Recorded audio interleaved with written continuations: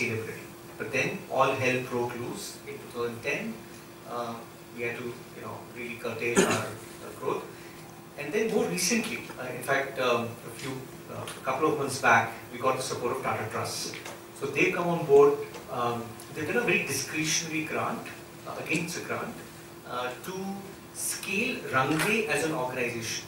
So they've given us close to 5 crores, 5.25 crores, to take To the next, in, so the idea is to make it sustainable in the next four years. And the only way we can do it is, is by increasing the number of loans which we could get without increasing the interest rate. No, that's that's that's the key thing, right? So, so, so that's what we're you know signing up to, and, and we hope to get there. I have two questions. Number one is uh, whether you are registered as an NGO or is it a microfinance company or what? Because you talked about grants. Second, would you also have anything equivalent to an NPA for the bank? And if yes, what is the percentage of that? Yeah. So, we are legally a public charitable trust, also a Section 25 company. So when we started company years ago, it was trust. So all the grants and FCRA exemptions we have received is for the trust.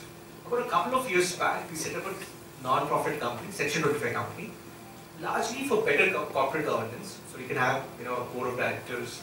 Um, uh, so, so that's the, the legal uh, part as far as that goes. And then, uh, just to come back, you know, I think the NPA, you know, as I mentioned, you know, so we have about half a percent which we have sort of written off, um, but there's about 8% delay. The reason why we are not declaring it as default is for a very simple reason that the communities have actually repaid to our partners, right? So it's not even one borrower who's actually, you know, defaulted, you know, to, to, to, to the partner. It's at the management level. They've had attrition, unfortunate mismanagement instances where, you know, the money is stuck.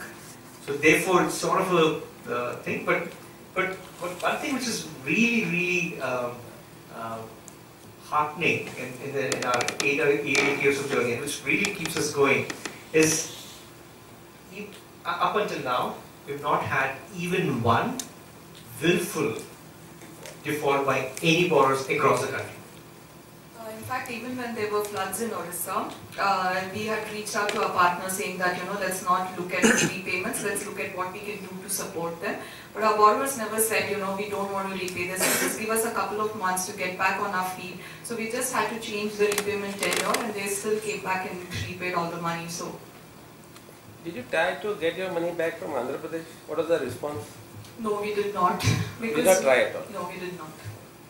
Yeah, I think, you know, yeah, so it was pretty bad state. So, uh, can, can you talk a bit about this Andhra Pradesh crisis? Yeah. That will provide a context. Yeah. Sorry, you had a question? Yes, I did, but you can complete okay. So what happened was, you know, it was actually worse than the subprime crisis in the US. So when SK started, you know, expanding their business, uh, so for Vikram Akula, the founder of SKS, his role model was Starbucks. So he said, well, can I templatize this whole model? Right? So can I rapidly scale? We used to have, you know, training programs for 1,000 loan officers in a day. So that was a scale he was looking at. And that led to everybody sort of following them in their own in their footsteps, saying that you know if SKS has done due diligence, then we don't need to do it. We can short, you know, short circuit that and then you know give the loan. Sadly, as a consequence of that, a, a, a low-income entrepreneur in Andhra Pradesh back then had five loans to service. Each day of the week, he had or she had a loan to repay. At interest rates, it varied from 40% to 60% APR. what was happening? They used to get timely repayments and the microfinance institutions used to feel very happy about it, saying that, see, the model is working.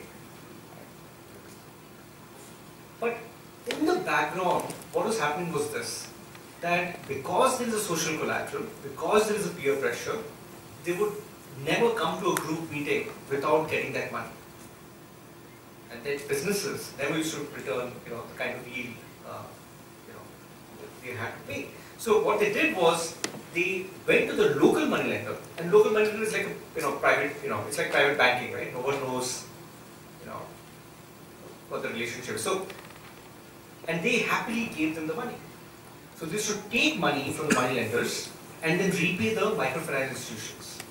Up until a point where they had about 2,000 US dollars outstanding with the local money lender. And that is when the money lender said, let me pull the plug. He started putting a lot of pressure and, and the money lenders are not, you know, noble souls, right? So they would say that you give the money or you're, you know, you're done. So they got scared and they said, okay, let's now default with the microfinance institutions. So they came to the microfinance uh, group meetings and said, well, we cannot, you know, we don't have the money. So the loan officers of microfinance companies were given a simple diktat. They said, if you go to the field to collect the money and you can't get that money, don't bother to come back to work. So the loan officers took the law in their own hands and they said, they started, you know, they went to the meetings and they said, you don't have the money? Okay. They walked into their homes, took their children away. In some cases, they went and locked them in their own homes and said, until you give us the money, we don't care. You want to, you know, pawn anything you have, do that, give us the money. And then SKS was actually notorious for a loan product which they had, which was called the top-up loan.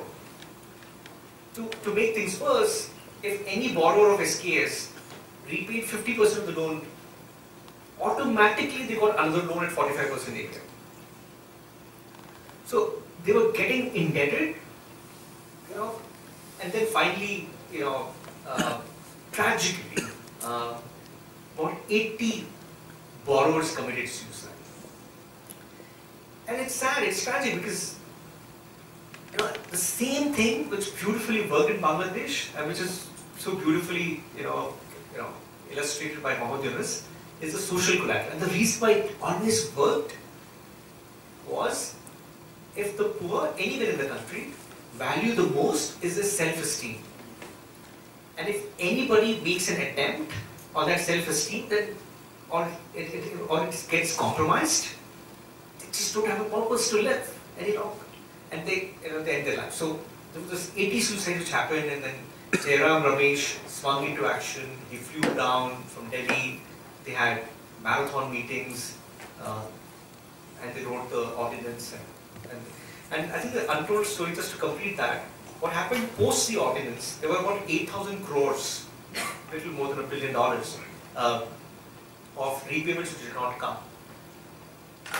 One would imagine that it's good because that did not come, it's a relief to the communities, right? But the irony was this, they still had the money lender loans to repay. As a consequence, and this is not covered at all in the media, the women in Andhra Pradesh, the rural microfinance borrowers, they got pushed to the flesh trade. The children got pulled out of schools. The men became alcoholics. And this is the untold story of, you know, when you when you have a purpose which is at counter or which is at odds with you know, the social goals, uh, you know, this is what happens. Social collateral damage, if you will. Um, some part of my question is answered in what you said just now, but for any credit model to work, what needs to happen is that, uh, you know, I guess a couple of things. One is making sure that credit, credit-worthy people are getting the loan, and secondly, that whatever loans have been given out, that your uh, default rates are lower than the interest rates that you're giving out. So I'm trying to understand how you take care of the, these two things. So what kind of credit analysis mechanisms do you have? How do you do it? Do you do it, or does it based? Is it based solely on the uh, the model of you know uh, having a network of people who know each other, so the uh, peer pressure? And secondly, how do you? You just mentioned that you, don't have willful defaults.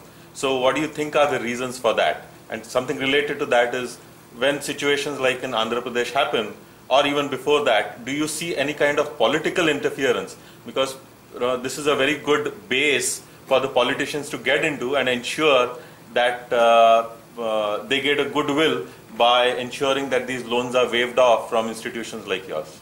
So, how do you take care of ensuring that credit is given to good quality uh, borrowers as well as making sure that your NPAs and defaults are kept at a minimum. So to begin with, what we do is we really